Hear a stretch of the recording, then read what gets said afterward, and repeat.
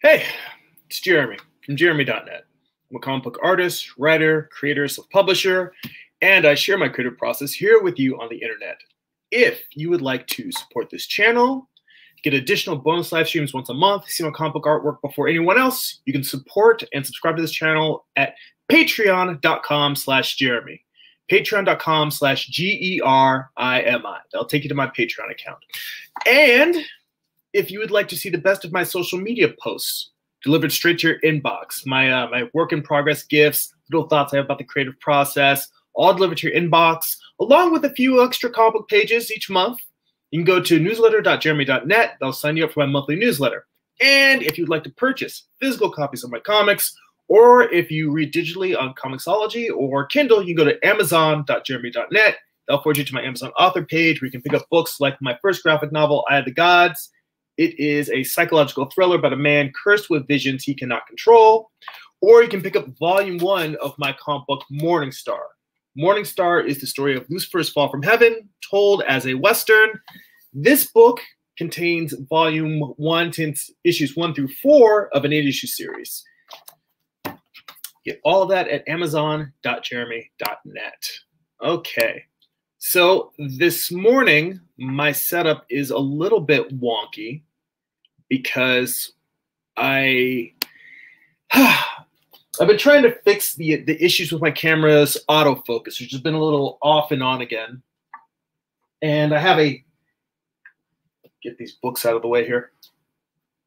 Oh, I've got an older camera that doesn't seem to have those issues. However, it doesn't have built-in software or a driver that allows me to zoom in. So, you know, hence me showing you this with the camera really close to the board. It's this little guy right here. Close to the drawing board, but giving you a kind of a wide fisheye angle. So apologies for that. And uh, let's see, we've got William in the chat. Hey, William, how you doing? Thanks for uh, thanks for joining us. Uh, today I am working on, or I'm continuing to work on a Doctor Strange piece. So I drew the uh, the layouts based on my rough pencils digitally, and then I printed out in blue line on Bristol. So I bring this close to the uh, the camera. You can kind of see Doctor Strange is there. It's an homage to the um, the cover or the pinup artwork that's on the first Doctor Strange Marvel Masterworks. So I'm using, I'm inking with brushes. I'm breaking in my uh, my Winsor Newton Series 7, number two. It's my first time working with these or with this brush. I've got a uh, a size two, a size four, and a size zero. Usually the twos and the zeros are my uh, my weapons of choice. So I'm just gonna get in here and uh, move my phone out of the way so I don't get any water on it.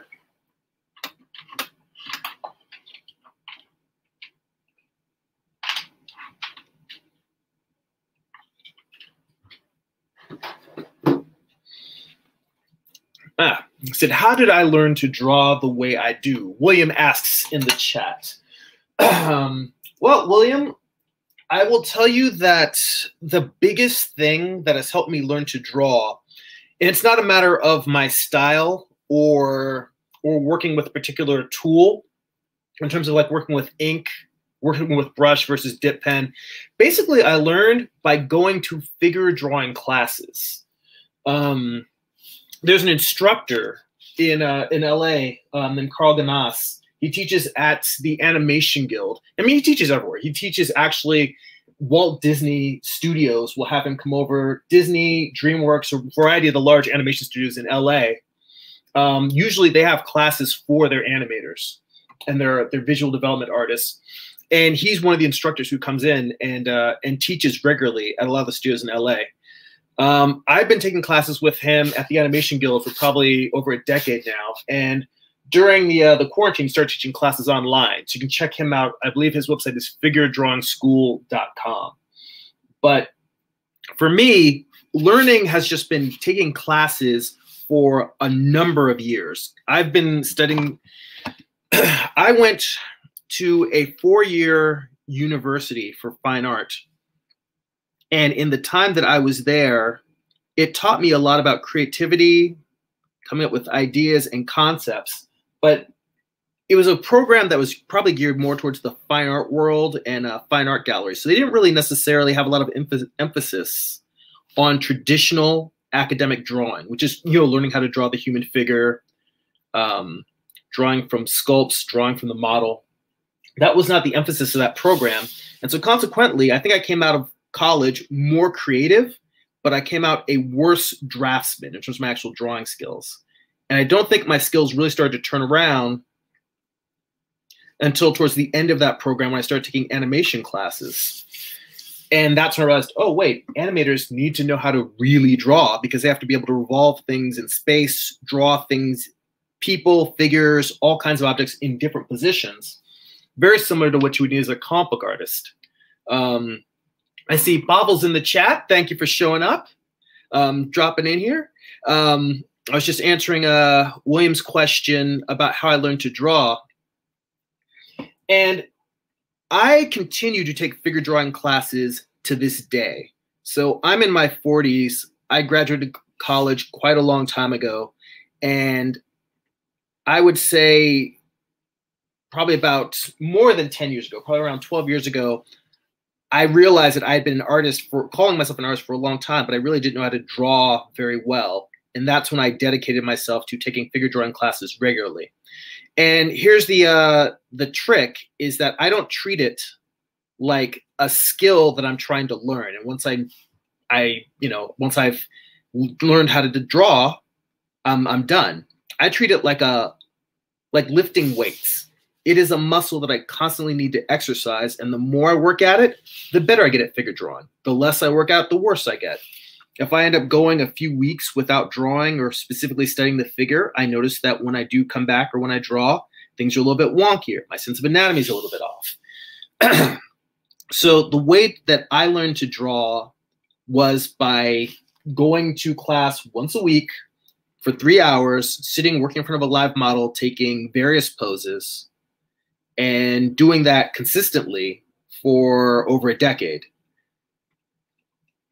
And I do believe that having a good instructor is very, very important.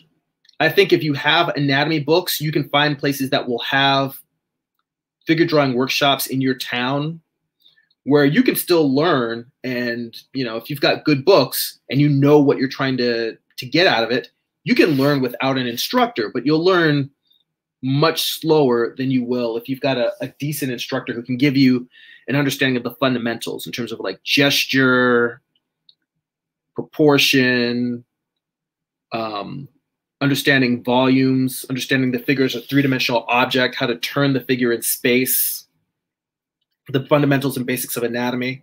And when I say the basics of anatomy, that doesn't necessarily mean that you need to memorize every muscle group. um, it doesn't need, mean you need to memorize every bone in the body. But rather, it doesn't mean you need to memorize every muscle. What I meant to say was you don't necessarily need to memorize every muscle, but you do need to understand the different muscle groups, the, the pecs, the muscles the chest. You can understand the quadriceps in general without necessarily understanding every single muscle in it. Same with the hamstrings. But I mean, it, even with that, with just understanding the major muscle groups of the figure, it still takes a lot of time. And I think that that is an answer that can be a bummer to some people when they think, "Oh, wow, it's going to take a uh, a long time to uh to learn," or they don't necessarily want to spend that much time. But something very interesting happened after about the first year or two of figure drawing, and even that's a long time. But I was taking figure drawing classes as a means to an end. I wanted to be a better comic book artist. Um, I wanted to be a better illustrator, and I couldn't draw well enough to draw the things in my comics that I wanted to. But what I found over time was that I genuinely started to enjoy studying the human figure and drawing from from uh, from models in class.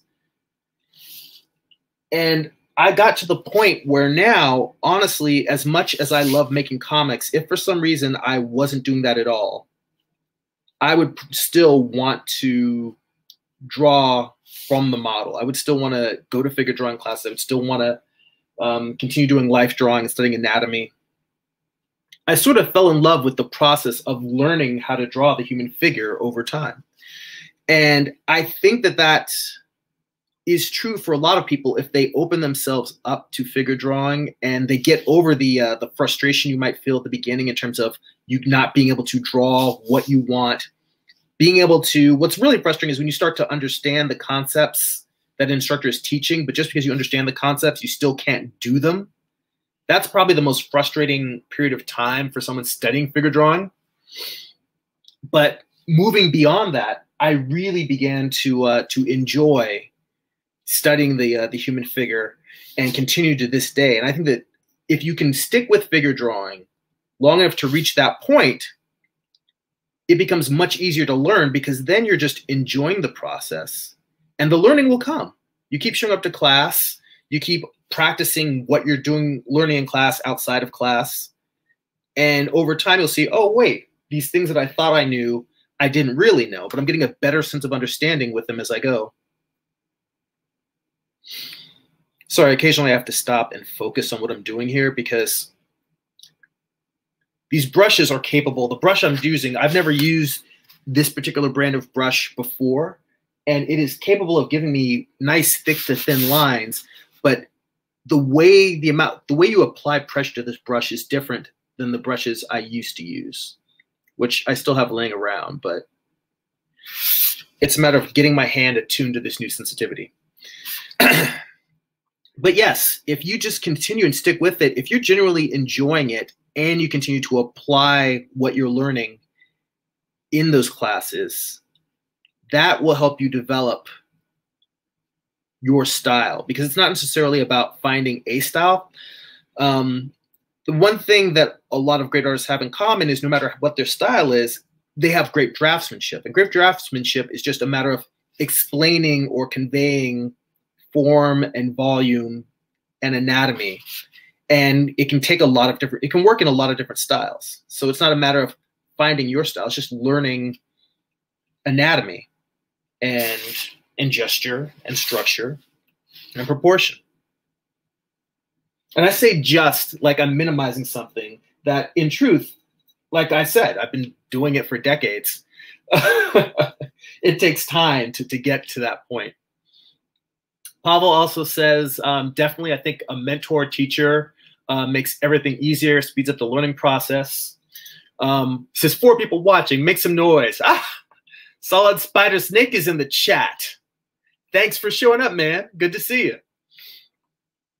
You know what? Let me switch this because I realize I have the camera set up so it's showing the drawing with me super big, and I meant to have it the reverse where the drawing is big and I am small.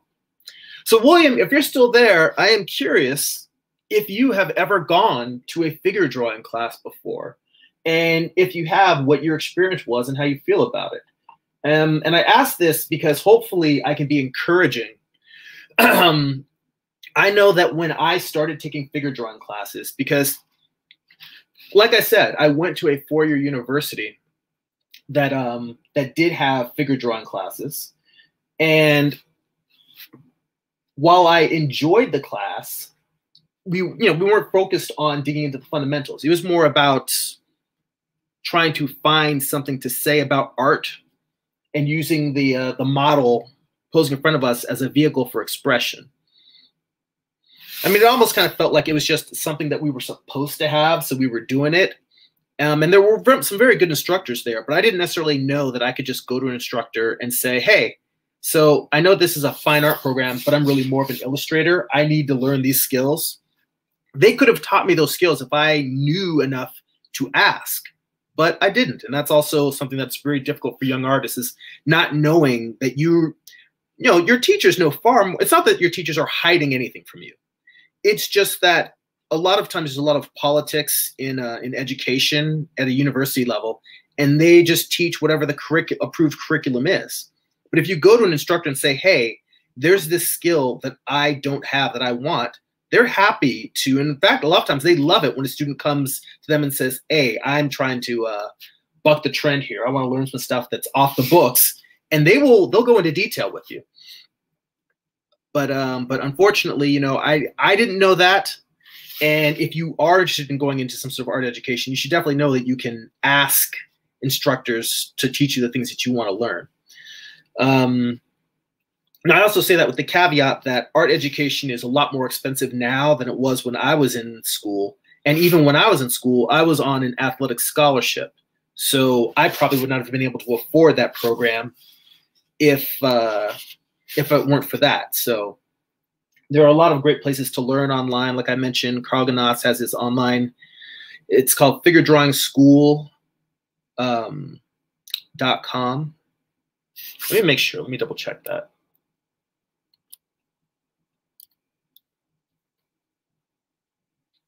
Yep, it's figuredrawingschool.com. Um, I am also quite the fan of um, of Bobby Chiu's schoolism. I have not taken a schoolism class there, but I've watched a lot of his videos and demos. And the only reason why I have not taken any classes is simply having the time between my day job and working on my personal art projects. I haven't carved out time to do additional art education or art study. Um, like I said, I'm taking figure drawing classes online, and that is, you know, an additional study beyond me just spending time working on my uh, my comics. But that said, there's a wide variety of topics and subjects in art fundamentals that uh, that they teach at schoolism as well, and it's one of the ones that I'm looking into when I have more time to take classes. But um, there's tons of art instructors out there. I mean, Proko he, you know, not only does he have a ton of great educational material on his channel for free, but my father is not a uh, well, my father's retired now, but he never worked full time as an artist, although he did train as an artistic background and he trained as an architect. And he was interested in portrait drawing, which I know that's his, you know, it's a personal thing that he really enjoys is drawing uh, drawing portraits. So I bought him Proko's online portrait course, and he really, really enjoyed it and worked through that. So, you know, Bobby Chiu, uh, Bobby Chiu Schoolism, Proko's courses, um, Watts Atelier, I think, has online courses as well, where Proko actually studied from there. So those are that's another great place to learn online.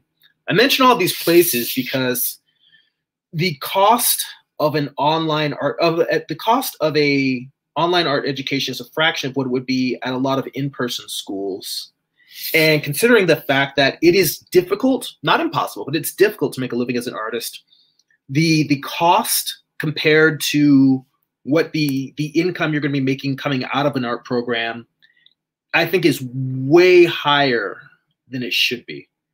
Um, I mean, the cost of an art education is kind of like the cost almost of going to med school but you're not going to be making med school money. You're not going to be making doctor money when you come out. So I definitely think that these are these are options that were not around when I was in when I was in college. And if they were, who knows? I may not have gone to a four-year university because my day job is actually a graphic design job and I really enjoy it. But it was because I couldn't afford to go to a program that had um, that had an illustration program. I mean, I live in LA where we've got Art Center, Cal Arts, a um, bunch of other great art schools, but that was out of my uh, my price range. Never mind the fact that I had a, uh, athletic scholarship. That's something that uh, it was kind of an opportunity I couldn't pass up. I really don't like how thick I made this outline here. It's a little bit too bloopy. I'll see if I can clean this up. See, this is the challenge of live streaming while inking. Is sometimes I'm busy talking and I'm not focusing as much.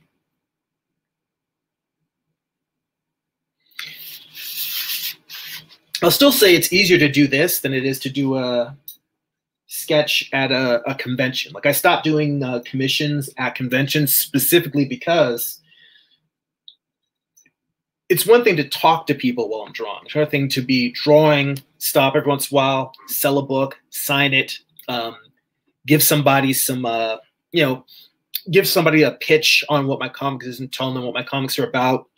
Repeating that over and over again, flipping through some prints, answering questions, talking with people, doing all of that, it was like impossible to get any drawing done. And whatever I did draw, it's like I said here, like that line being off.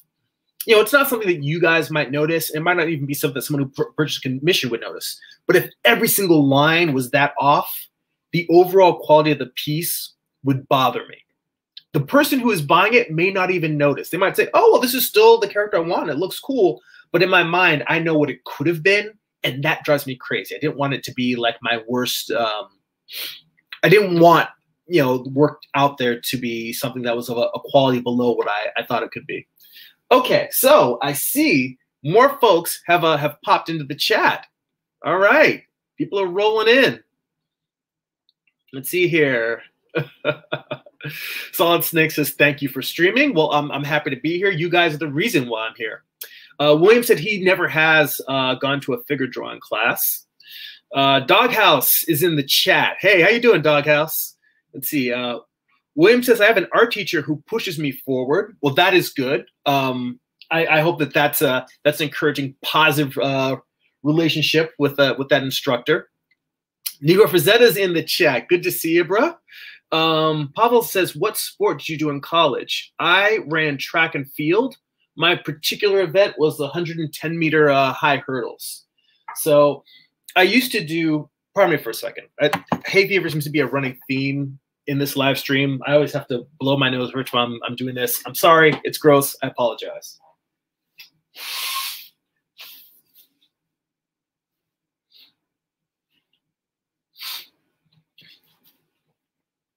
It's that, I'm going to get snot on the page.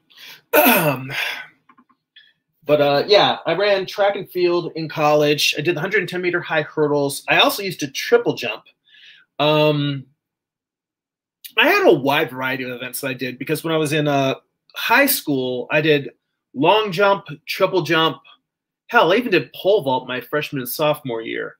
Um, what's interesting is that I, as a sprinter, I was not the fastest. Like I would usually, I'd be on the hundred, um, the the four by four um, relay or, or the four by one, four by one hundred meter relay. For those who are not track and field enthusiasts, I'd usually be on that relay, which you tend to be one of the faster guys. But I was not necessarily somebody who was running the uh, the hundred meter dash most races. I was fast, but not the fastest. However, my body proportions lined up perfectly with the um, with the height of the hurdle so that while I was not necessarily the fastest sprinter on the team, I could run at full speed at the hurdles, and I really didn't have to change my uh, the pace of my uh, my stride, and that allowed me to be very very good and excel at that event. In fact, I was actually the uh, state champion my uh, my senior year in high school, which I think helped cement me uh, getting my scholarship. But uh, but yeah, so track and field was my jam. And of course, very few art schools. I don't think any art schools have um, have athletic programs at all. They certainly don't have any track teams. Although to be honest, when you look at uh, artists, track would probably be the most likely sport as opposed to a football team. You're not going to have a, a, bunch of artists on the uh, playing football. I mean, you could. I mean, I know. Let it this way: in comics, there are a lot of artists who are also jocks a lot of basketball players, a lot of people who love basketball, get really into it, play regularly. But um, yeah, I don't know necessarily if there would be enough that would be into uh, sports that they would really have a sports teams or athletic program. Be an interesting idea for maybe a manga, art school jocks It'd be funny is like all the jocks in art school because they're the weirdos, they get bullied and picked on. I don't know. Yeah, that that that part sounds a little outlandish, but hell, it's art, it's comics. Things are supposed to be outlandish. I'm gonna come back and look at the chat in a second, but drawing long, smooth, curved lines is one of my challenges and I'm trying to get this line just right.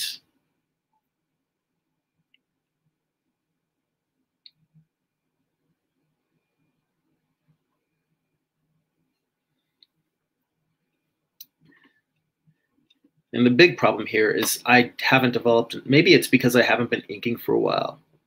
I used to have the control that I could get a one smooth fluid stroke and get the line that I want. And I don't seem to have that ability anymore. I think the other thing I'm seeing is that the point that this brush is coming to is not necessarily as thin as the point of the other brushes I used to use. Generally speaking, I would ink with, uh, like most of Morningstar was inked using um, Dick Blick Wonder White brushes.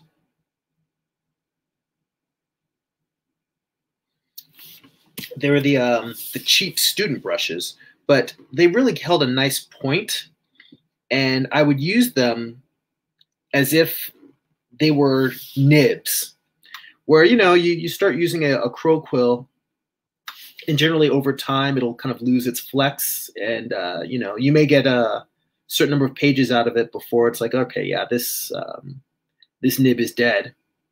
I would just use cheap brushes instead of using expensive ones. I would just use cheap brushes, and uh, when it, its lifespan ran out, I'd be like, well, I only spent like a buck fifty on that brush. So if I get like one issue out of it, that's great. If I only get like, you know, 15 pages out of it, so be it. So I would spend less on brushes, but my overall result was I was pretty happy with it. I would just keep using the brush until the it stopped keep keeping a uh, a point maybe I'd toss into a jar of brushes I would keep laying around for doing splatter effects.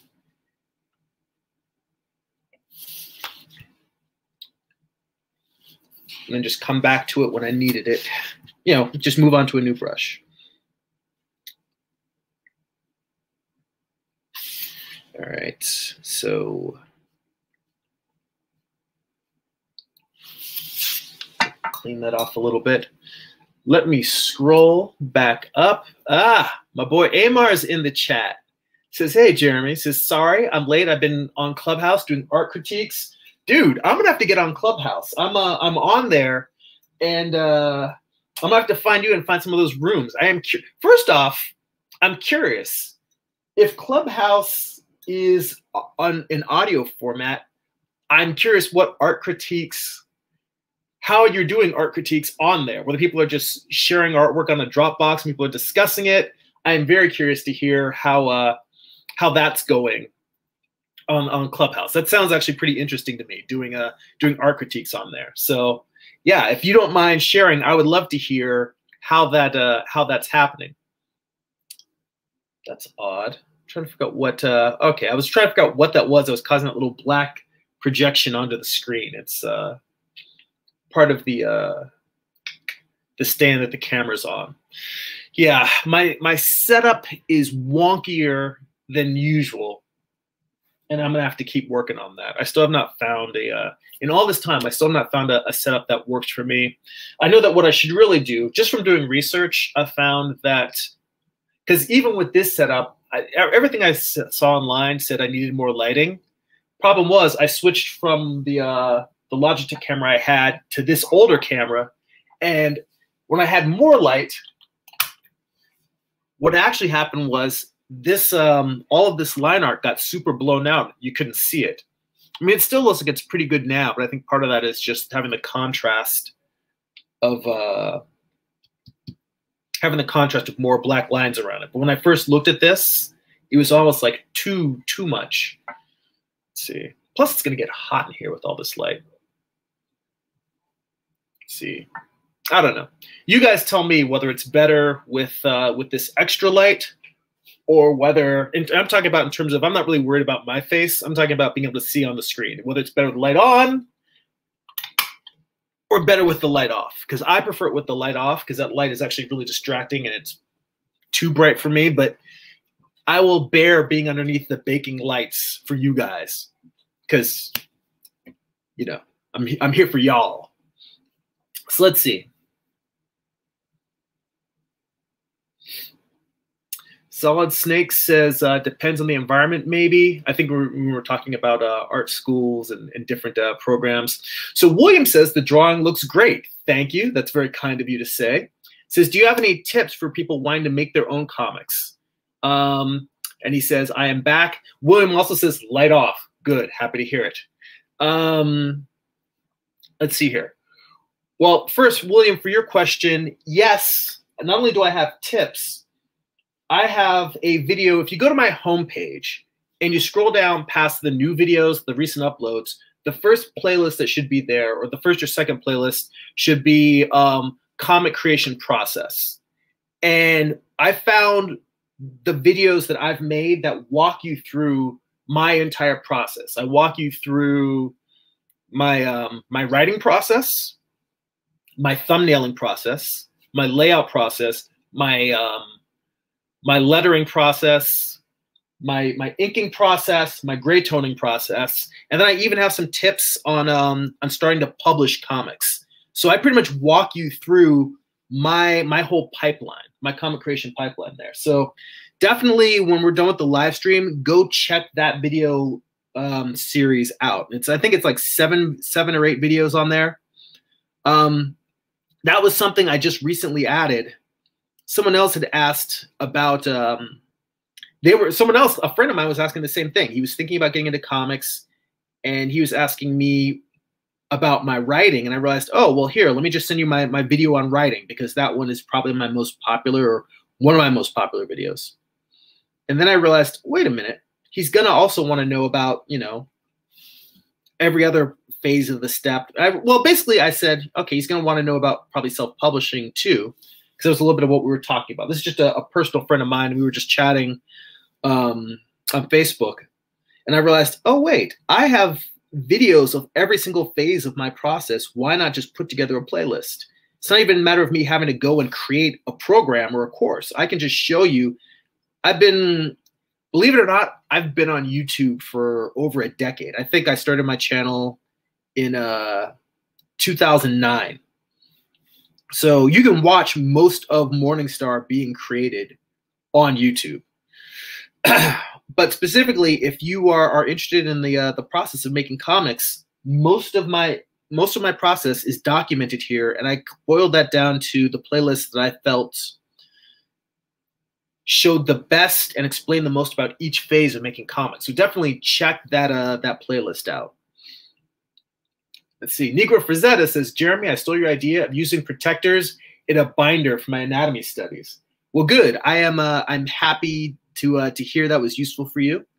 For those wondering what uh, what he's talking about, I have a thing for uh, for patrons. That bonus uh, video that I do, we've been doing what I call art book study group, because we all have art books laying around. You know, whether it's dynamic anatomy, or how to draw comics the Marvel way, um, Bridgman's constructive anatomy, Loomis's figure drawing for all it's worth.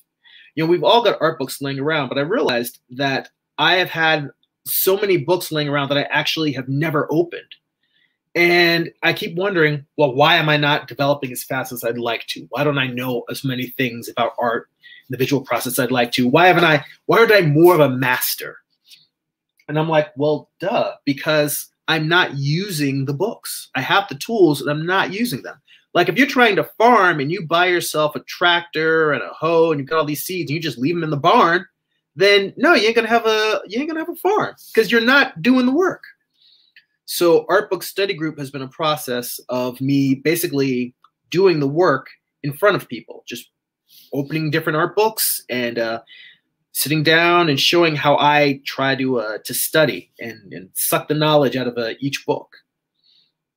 Anyway, one of the things that we were uh, talking about in the art book study group, my most recent video I had I went through a binder that I have of a bunch of studies from, they're from a variety of art books, but most notably, it's uh, George Bridgman's Constructive Anatomy and uh, The Human Machine. Those are two books that I would go through and on an annual basis, I would sit down and basically draw each book. Like I would just open the book, start at page one, and I would copy each page And when I say copy, I don't mean that I am trying to draw an exact replica of each page. What I mean is that I'm looking at the information. What was George Bridgman trying to teach on this page about arms or the pelvis or the construction of the head? And then I would try to get that information down on the page. And the way that that is different is that it's not important whether the drawing exactly looks like Bridgman's drawing. What's important is that when I look at that drawing, do I see the information that Bridgman was putting down? And if the answer is yes, then I consider a success. If the answer is no, I would usually draw that study again. And I had a whole notebook full of uh, of drawings of those kinds of studies and basically an art book study group this past week instead of studying from a different artist we just flipped through all of my uh my old uh notebooks i mean when i say all of it's just two notebooks they're two binders with um clear plastic protectors and i would just draw my studies on loose sheets of paper and then uh if it was a study that i'd like i would just uh, put it in a, a sleeve and move on to the uh the next study I think I chose doing it that way mainly because there were so many drawings I did that were horrible and I threw away. And that's true. It's another thing. If you people are talking about the learning process, you're going to do a lot of bad drawings. Um, even in this day, like today, like I had figure drawing class yesterday. Um, the class I had was a virtual class in Zoom, drawn on a Saturday. Uh, you know, working from the model on a Saturday. And I would say out of the three hour session with the model, I maybe drew like, I mean, it was a lot of five minute poses, two minute poses. I maybe drew somewhere around 20, 20 to 30 drawings. And out of those, I would say maybe two or three were actually good drawings. The rest of them were just, you know, they might have some good sections in them, but a lot was wonky. Some were just, you know, just straight out garbage, just bad drawings. Some were I was just too slow, like I was just trying to get the gesture right. And all it was was just like maybe a sketchy, loose gesture because I kept working on the, the fundamental parts. I didn't even get to really firm up the drawing. A wide range of it. But um, when you stop looking at bad drawings and getting frustrated and start looking at them as it is part of an ongoing process. The bad drawings, it's not necessarily like that. You have to draw, you know, a thousand bad drawings to get good drawings is that the bad drawings are part of the process. They help you see what you don't understand. And while early on you tend to be, I think artists tend to be insecure about doing bad drawings, but once you learn that the only that that's how you understand what you need to get better at is by seeing the flaws, seeing the crappy drawings. Like, oh, this shows me I don't understand how the knee fits together as well, or I don't understand my proportions are really bad they once they show you those things, then you're like, okay, I can sit down with an anatomy book and work on this. If I have an art teacher, I can say, I am having this specific problem. Can you show me how to do this better?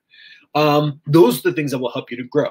Um, so I don't look at bad drawings as the enemy. I look at them as a big neon sign saying, this is what you should work on. So they're actually, bad drawings help you get better. They show you what you're doing wrong. You just have to open yourself to that.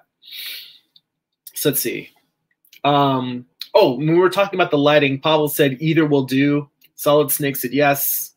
Um, William asks, are there any things you regret when making Morningstar? Um, that's a good question because I tend to try not to. It's not that I try to live without regret. It's not like I'm all YOLO, but everything, much like figure drawing, everything that I do wrong is a learning process. Um, I would say I don't know if there's anything that I would have done differently if I had the whole series to do over again. I don't know if there's anything I could have done differently. Um, because what I learned was that I have to strike a fine balance in terms of I do need to use reference but I don't need to shoot extensive reference. Like there was one issue, issue two, where I had a friend come over and do a photo shoot with me, where he basically posed for most of the characters in this series. Um, he posed as a lot of the different demons. Um, he posed as the different cowboys. He brought over his duster and um, cowboy hat. He was in costume, and uh, it was useful. But you know, the fact that I spent a lot of time, you know, we spent a whole afternoon doing that, and then out of those, I think I probably maybe used about thirty percent of what we shot. And I think what I've realized instead is that what I need to do is just draw what I need and get I you know start with what what I'm what story I'm telling. And then if I start drawing something that looks weird, that's when I'm like, oh, I need reference for this. So it's not necessarily a matter of I need reference for everything because over the course of like if you look at like my past two years of videos, you'll see that I talk a lot about reference and that no one ever really showed me how to properly use reference. So I definitely believe in using reference. Reference is not cheating. Reference definitely helps. But when you're drawing comics, the amount of time it takes to draw comics, it'll take you forever if you use reference for everything. And I think that what I realized is you use reference when you need it. When you try to draw something and it doesn't look right, that's when you need reference. It means you don't need, know what the thing looks like. Now, what helps is when you get good enough or you understand your drawings well enough that you can know ahead of time you're gonna need reference, and then you can actually shoot reference based on your, your thumbnails and your loose sketches. That'll save you a little bit of time. But even then, you know, I find the best thing for me is to just start drawing, and then when something is wrong, to use reference as a way to help fix problems. But that isn't something that I could have. When I, we talk about things I regret or things I would have done differently, that's not something that I knew or I could have planned for back then. It's just something that I had to learn by making comics. Um, I do wish that I had finished the series faster. Um, you know, I also, I'll tell you one thing I do wish I had done differently is for a long time I was doing, I continued to do sketchbooks for each issue because it took me a while to finish. You know, I was finishing at best two issues a year. A lot of times I was only finishing like maybe one issue a year. And so what I would do is when I had conventions, I would um, I would do take my my rough pencils, lettered, and I would get an ash can printed up at Kinko's. That's just like a small, you know, like instead of eight and a half by eleven, it was like five and a half by uh, by eight and a half, like just an eight and a half, a sheet of like American uh, letter size paper folded in half. Um, and I would just make a small booklet, like a 24 page booklet of the comic, so people could read that, purchase that before the uh, the actual issue was ready, before it was inked and, and gray toned and all set. And um, eventually, I realized that those sketchbooks made at Kinko's cost just as much as if I were to send that to a printer and get just like 50 or 100 sketchbooks made. So I probably should have just done that regular comic size. So let's see here. Solid Snake mentions uh, Invisible Art um, by Scott McCloud. Oh, um, Understanding Comics, The Invisible Art. Yes, that book is a great book. If that's something that uh, you're looking to getting into uh, making comics, I would recommend that. I'd recommend How to Draw Comics the Marvel Way. Um, I'm sure that there are two or three other books about the comic making process that I could recommend that I'm not thinking about off the top of my head. So if it comes to me, I will uh, maybe I'll make a video of my my recommended books for for comic creators. But I can't think of anything else off the top of my head right now. Solid Snake says uh, not using tools. Um, let's see. Pavel says, I need to go now, but I'll be here next time. Enjoy the rest of the stream, everyone, and take care. Well, thank you for joining us. Uh, I hope you have a great weekend, the rest of it, and a great rest of the week. Um, William asks, are there any other comics you'd like to make? Um, I also said bye to Pavel. Um, yeah, there are a ton of comics I'd like to make. I have a big folder for writing on my computer, and it's just filled with different uh, different story ideas, different character ideas, um, different series. I have more ideas that I want to tell than I probably will be able to get to in my lifetime. And you know, I kind of had to make my peace with that because you know, there's only so many hours in a day. I try to spend as much time as I can making comics and writing comics. But yeah, I'm I have tons of comic ideas that I want to do. Um, one of the things that I'm doing right now is I'm actually trying to put more time into working on improving as a writer because I've spent most of my life working on drawing, working on improving as an artist. And one of the things I learned in working on Morningstar is that I need to put just as much time into improving as a writer as I have into improving as an artist. So one of the things I want to start doing, and I have not done that yet, even though we're already, you know, almost halfway through this year, is I told myself I was going to start spending at least a half hour a day writing, just 30 minutes a day um, at the keyboard, working on, it doesn't matter whether it's an outline, dialogue, what have you, but just working on whatever my next comic is going to be. And then when that thing is done and I feel like it's as written and rewritten as it's going to get and as good as it can possibly be and as polished, then I'll just start working on a new story. Because one of the things I found with uh between there was probably a um a two or three year gap between me finishing my first book, Eye of the Gods, and me starting Morningstar. And part of that really was writing and rewriting. And even with Morningstar, I had gotten about halfway through the series and I realized that there were some structural issues in the writing that caused me to stop at issue four and probably spend about two and a half months rewriting the second half of the series.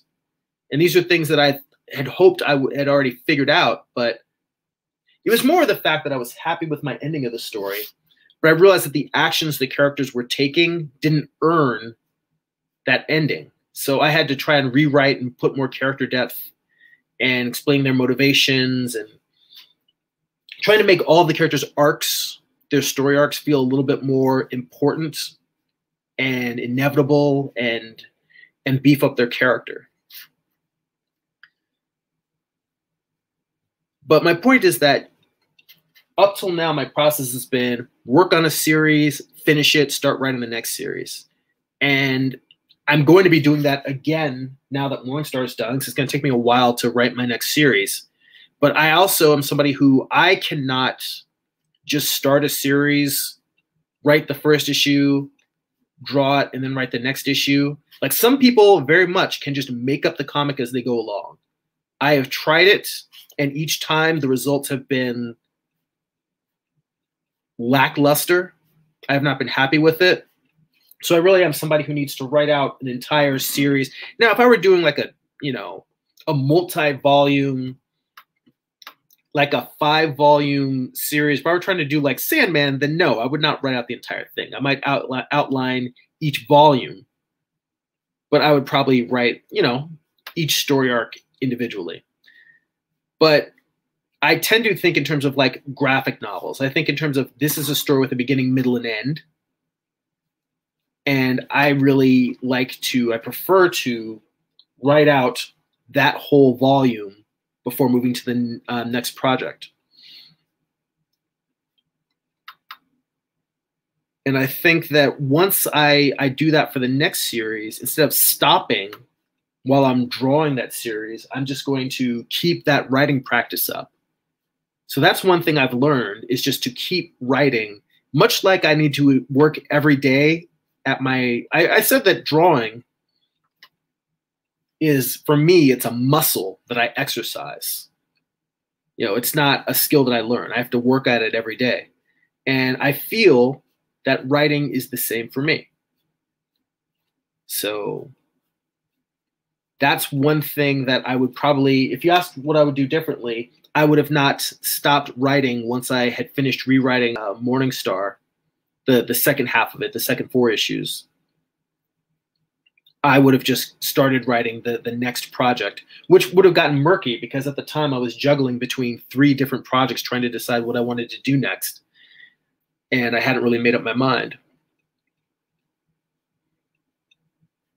But hell, if you know, over the time that took me to finish the series, I could have written all three of those projects and had each one ready to go. And then it just comes down to which one do I feel like drawing now?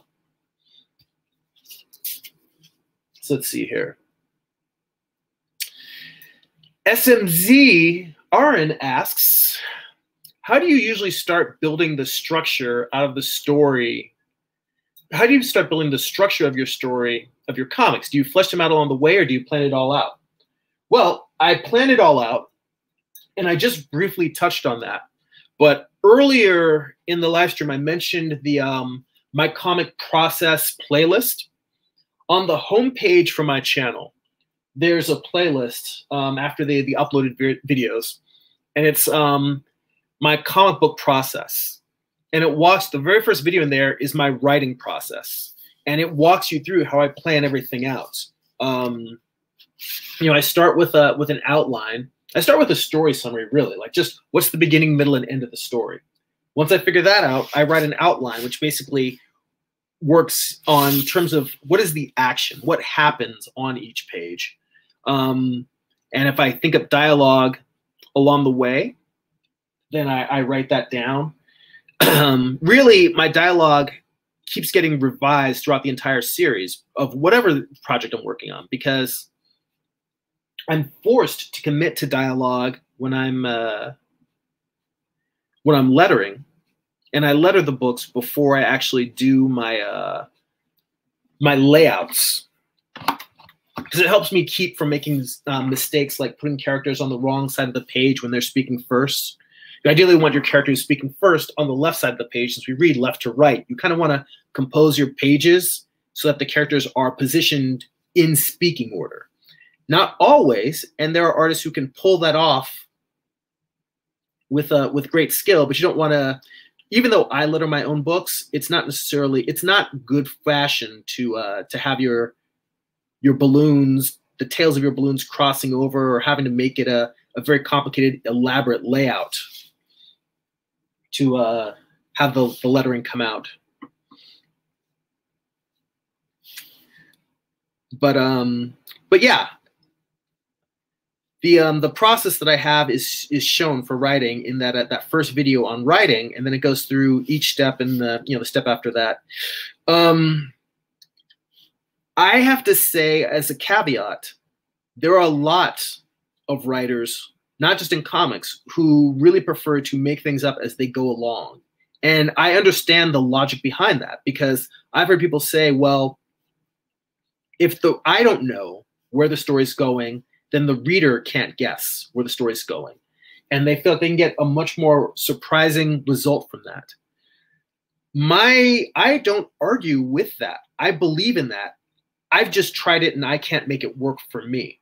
So I'm not telling you that planning everything out is the way to go. It's the way that I have found works best for me, and it's the way that I prefer writing. But I, at no point, am saying this is the way you have to do it. It's the right way, or it's the only way. Um, I think that there are definitely strengths to making up the story as you go along.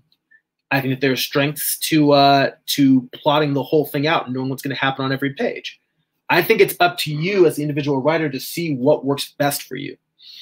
Um, in fact, the way that I came to being somebody who plans out the entire story was because I tried making it up as I go along multiple times and I was dissatisfied with the writing ele- element. And that was when I said, you know what? I need to know what happens.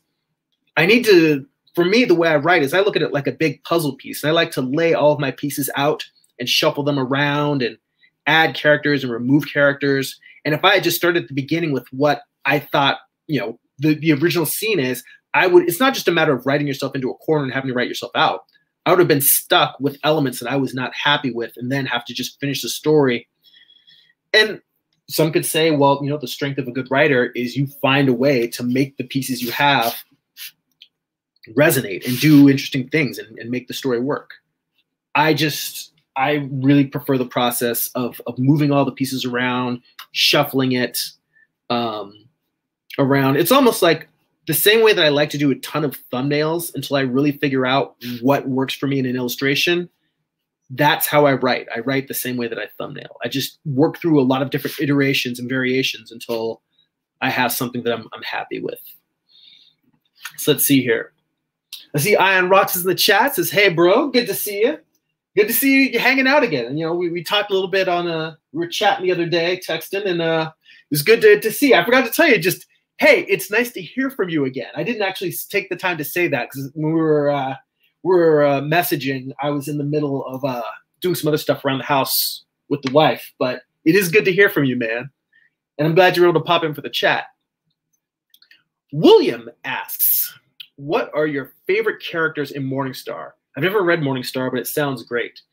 Um, you know, if you sign up for my newsletter, you can go in there and I have a, uh, a free digital sketchbook that I give away that has the rough pencils for the first three issues. So you can read that roughly. Um, but yeah, it's Lucifer's Fall from Heaven told as a Western.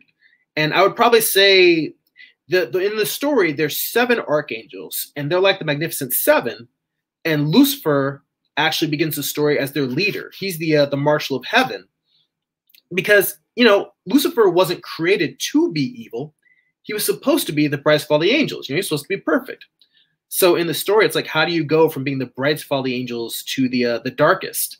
So because we all know how Lucifer ends up, but my comic is about the story of how he got there. Now within that, I tried to make each of the uh, the seven archangels in the the story feel like they have their own arc. And I would probably say out of the uh, out of the archangels, my favorites, my favorite characters are probably Ariel and Gabriel. So Gabriel is actually originally Gabriel was the archangel Gabriel, but I wanted there to be more female characters in the series, so I made Gabriel a woman, and she is a badass. She's kind of like um, wow.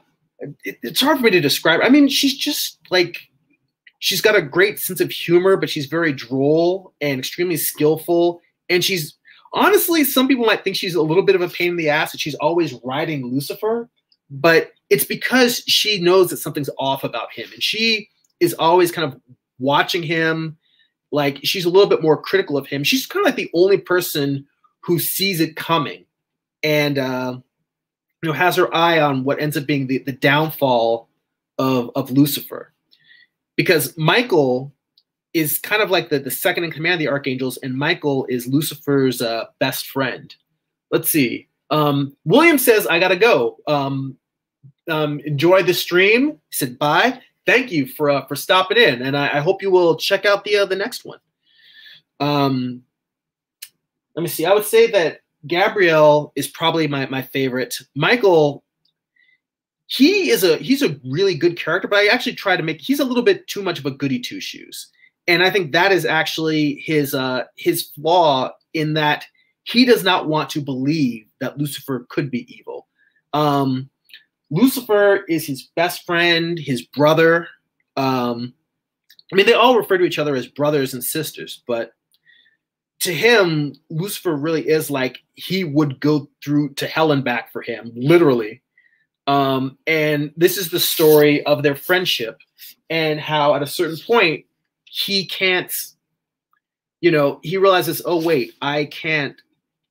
I thought I could support anything this person does or defend anything that they do, but he's gone too far and I can't, uh, I can't support this anymore and it's about kind of the breakup of their friendship. Um, it's a bit of a bromance. But I would say um, the other Archangel Ariel, she was someone who, again, another female character who originally I had planned for her to be a love interest for uh, for Lucifer. And I realized that it is bad form to put a female character in a story just to be a love interest and give and no other arc to her. Like she, you're not treating her like a, a real person. So as I started fleshing her personally out, personality out, I was trying to think, well, how can I make her fit into the story?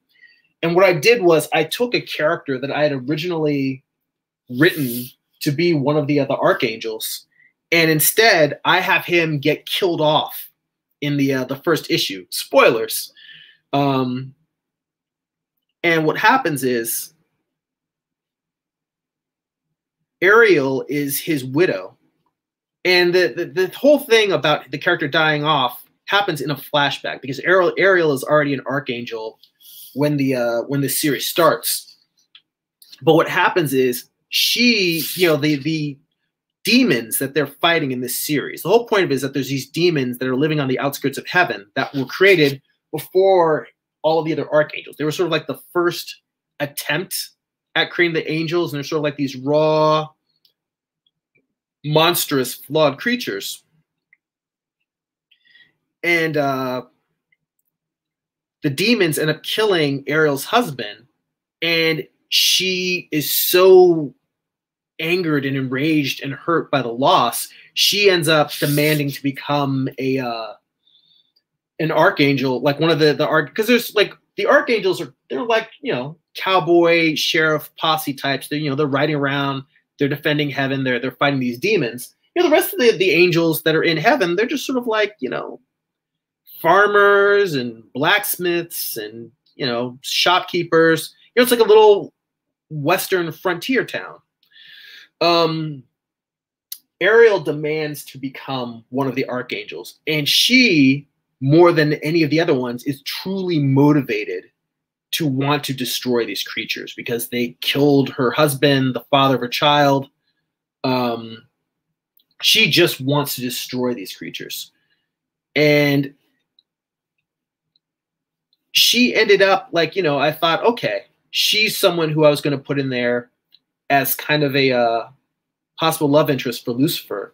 And over the course of writing her, she she doesn't even end up with Lucifer. I'm not going to tell you what does happen, but she was a character who ended up in me wanting to make her a more fulfilled, well-rounded person.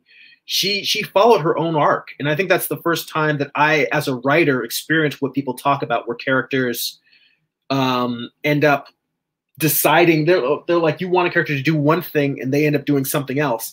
That's the first time I experienced it in my uh, in my comic creating process, and it was fascinating to me. And I think just experiencing that and experiencing how she grew and changed and what her her arc was was so amazing to me that uh, that's probably the reason why she would be my my other favorite. Um, that was a bit long winded.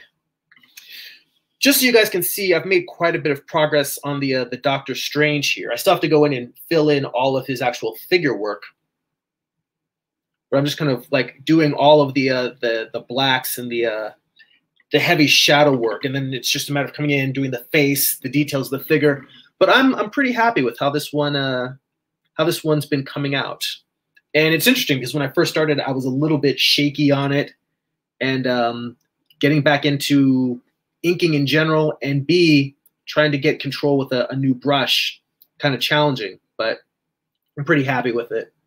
I am going to run through the last couple of comments in the chat here, see if there's anything else that uh, anyone wants me to answer, and then we're going to wrap it up because we're already a little bit past an hour.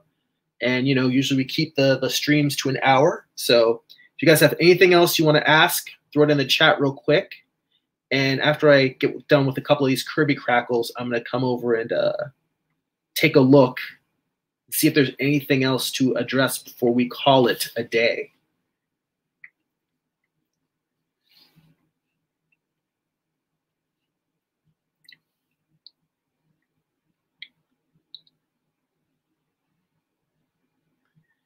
You know, I remember now again my buddy Karl um, Karl Altstaetter, comic creator.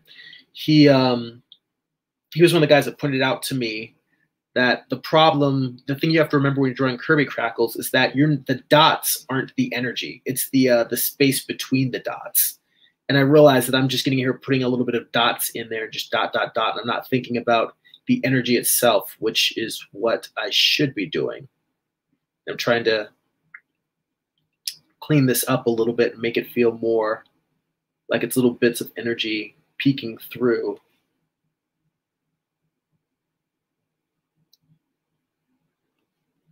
Or little bits of darkness peeking through the energy.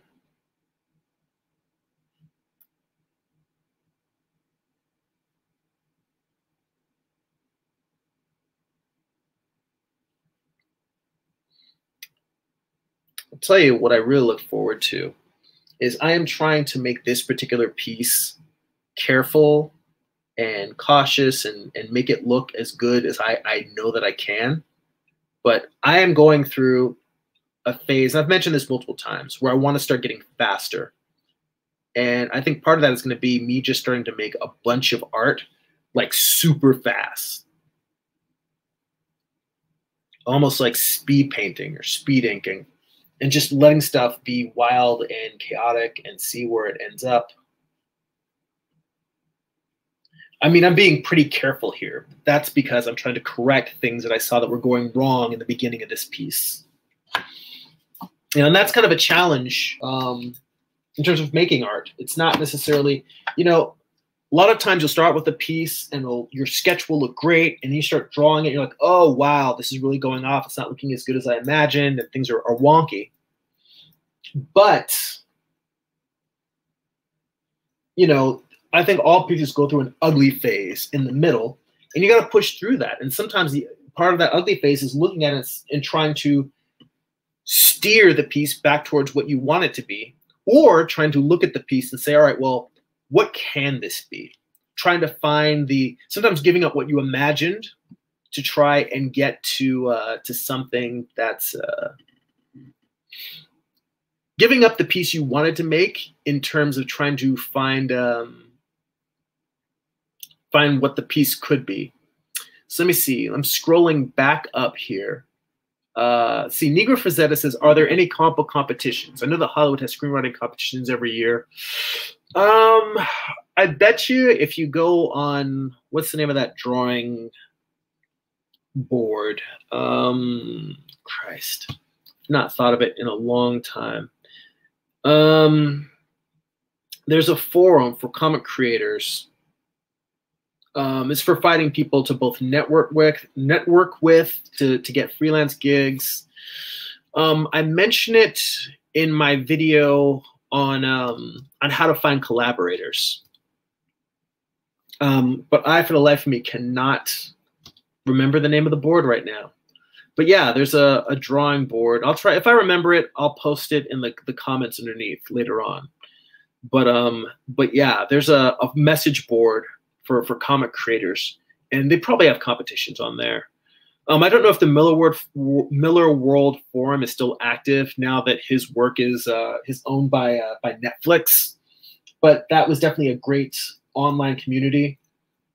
I bet if you just honestly, if you just Google comic book competitions, you can probably find some online. Um, comic book resources probably has something in their forums. This is one where I would just say Google it. Um, yeah, I couldn't tell you offhand what uh, comic competitions there are, but I'm sure there's some out there.